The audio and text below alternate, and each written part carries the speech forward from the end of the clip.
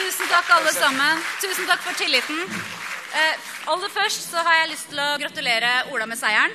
Eh, vi har kjørt jevne race før, vi, helt siden ungdomsdagene. Eh, nå er vi der at eh, Ola er første nestleder, og jeg er annen, annen nestleder. Eh, men i ledelsen så er det summen som teller, og der er vi tre. Dette skal bli veldig bra.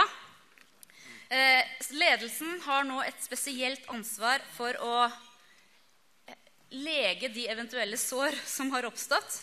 Eh, alle deler av partiet eh, nå at, skal, skal, nå føle at dette er deres ledelse. Og Ola og Trygve er to veldig flinke karer. Eh, og jeg gleder meg til å jobbe sammen med dem. Det skal bli spennende, det skal bli morsomt.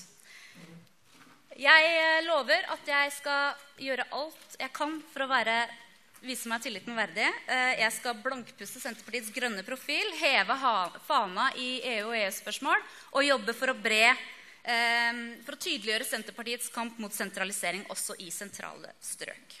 Så tusen takk for tilliten. Jeg er utrolig stolt over å ha fått eh, tillit av det fantastiske partiet her. Takk.